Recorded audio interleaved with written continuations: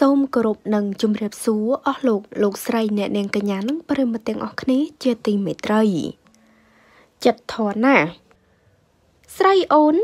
មិនទាសំណងទោះឡានខ្លួនធ្វើអស់ច្រើនម៉ឺនដុល្លារក៏ដោយ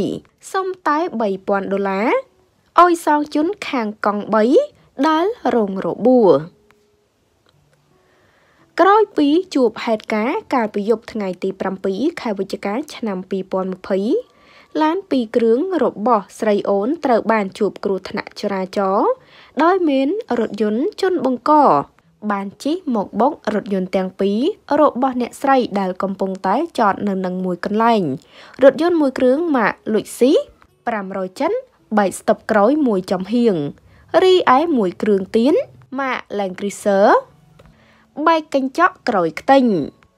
ដោយហេតុការណ៍នេះបានកើតឡើងនៅឯខេត្តសៀមរាបបង្កឲ្យមានការភ្ញាក់ផ្អើលទាំងយំក្នុងហេតុការណ៍យប់នោះផងដែរក៏មានរថយន្តរបស់ស្រីអូនពីរគ្រឿងរួមទាំងរថយន្តផ្សេងក៏ទទួលរងការខូចខាតនឹងកង់3មួយគ្រឿងរួមទាំងម្ចាស់កង់3ក៏រងរបួស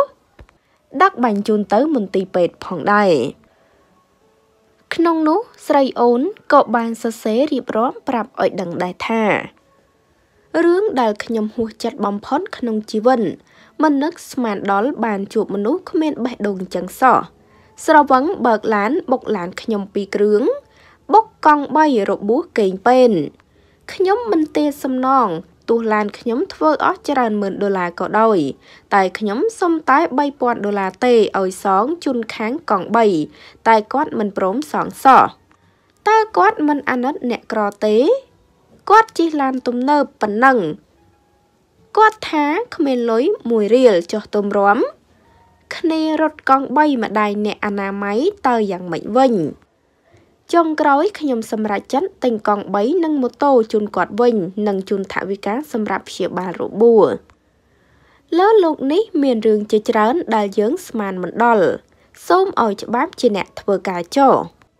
ព្រោះឡានពីរគ្រឿងខូចធ្ងន់ កង់3ប្រើការលេងបាន មនុស្សរបួសកេងពេនក្រោយមកអ្នកស្រីក៏បានបង្ហោះរូបថតដែលត្រូវគេបុកយប់មិញ ដោយបិទឡានហើយជិះមកភ្នំពេញវិញ ដោយសរសេរសារថា មានតែឆ្នៃបិទអញ្ចឹងទេទៅជិះទៅភ្នំពេញបានបងប្អូន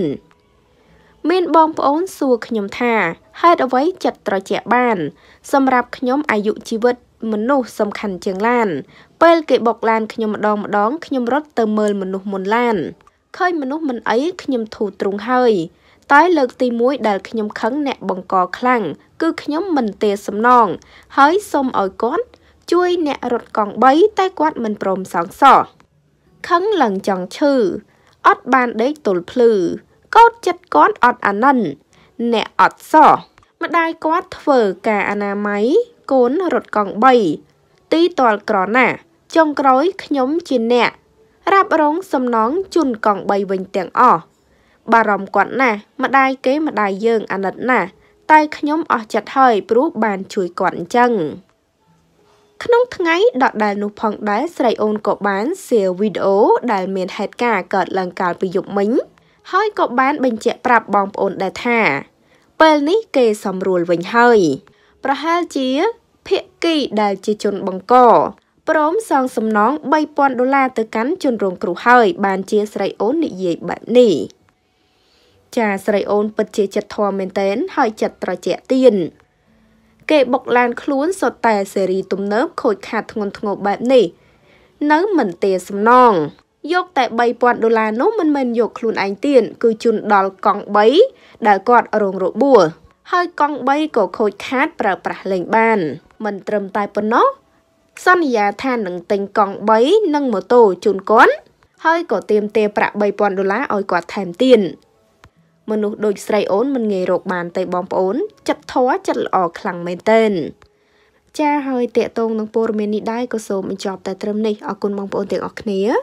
សូមចុច Subscribe និងរូបកណ្ដឹងដើម្បីទទួលបានព័ត៌មានថ្មីៗជាបន្តទៀតសូមអរគុណ សូមគោរពលា